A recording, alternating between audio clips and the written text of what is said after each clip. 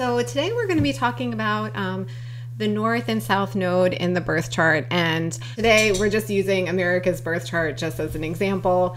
In astrology, so the nodes, what they are, they're not planets, but they are as significant as any of the planets. So there's a north node, also known as the ascending node, and a south node, also known as the descending node. They are astronomical points where the uh, orbit of the moon intersects what's known as the ecliptic, which is the perceived path that the sun moves through our sky, which would be uh, relative to Earth's path or orbit around the, sun. So it's the intersection point of the the moon's path through our sky and the sun's path through our sky. So there are two intersections known as the nodes, and when there's a new moon or a full moon near the node is when an eclipse happens. So when a new moon near either of the nodes happens, we have a solar eclipse.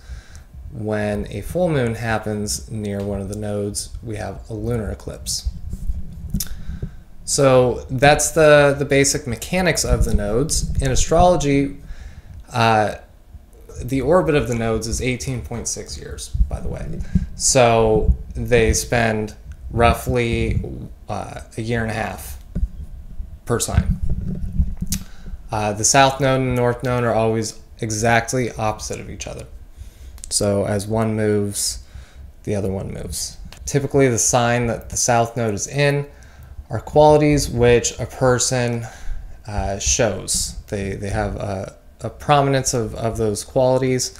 Uh, I would say, in general, these are qualities which your soul uh, has in abundance and is being called to refine. So typically, planets near the south node or in relationship charts, when a person's sun is, is near another person's south node, uh, I find those individuals tend to be compatible in relationships.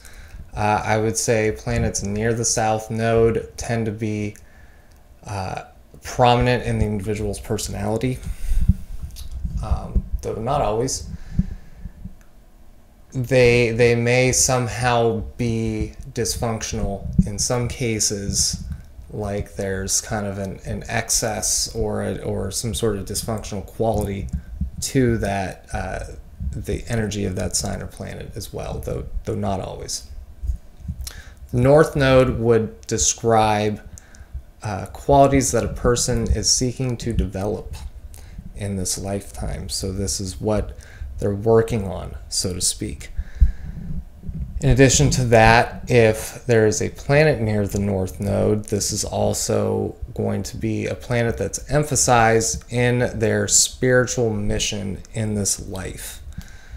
Um, energetically, I've also found that the North Node tends to have an energizing quality things tend to be activated and, and energized when the north node is touching it. So in the birth chart, a planet near the north node tends to be energized.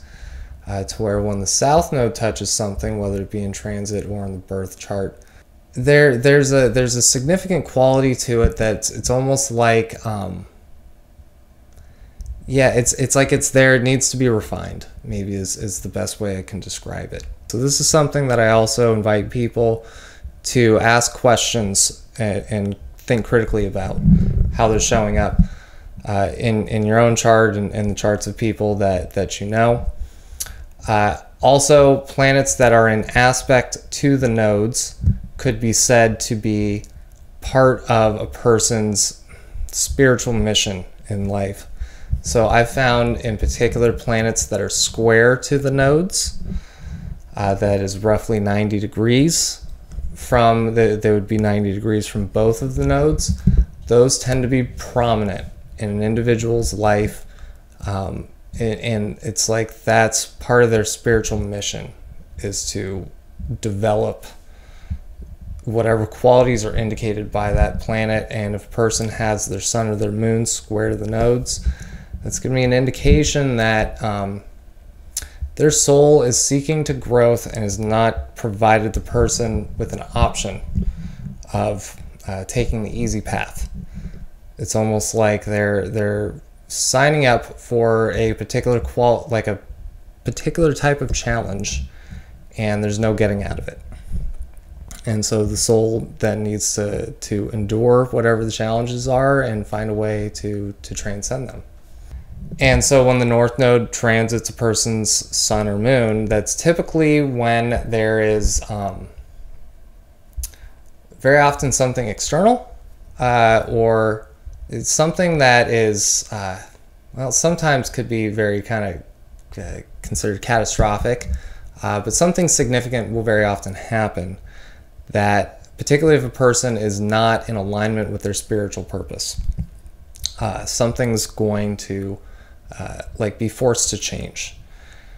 And so the individual then can hopefully find their way back into alignment with their spiritual purpose to where when the south node makes transit what i've found um, particularly when it's transiting the sun or the moon is something from the past will reemerge some sort of old pattern or old relationship uh, that's going to be challenging uh, that needs to be dealt with. So this is typically uh, it could be any sort of unhealthy pattern or habit or, or an unhealthy relationship very often uh, to where when the north node it's like things fall apart and a person has to kind of find like a new path. At least that's what i've noticed in in my personal practice. Other astrologers may say something different though you could look at uh, the south node as like this is this is what you're seeking to resolve and uh, refine from your past and the north node is what you're seeking to develop and create